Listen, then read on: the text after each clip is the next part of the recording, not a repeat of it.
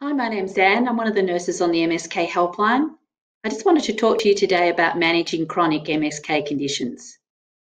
Everyone is very focused on the coronavirus at the moment, but it's still very important to talk to your GP about chronic MSK conditions. You can see your GP via telehealth, or sometimes you may need to see your GP in person. You'll also need to see the GP and talk to your GP for other things that might come up, and some people will have medical emergencies.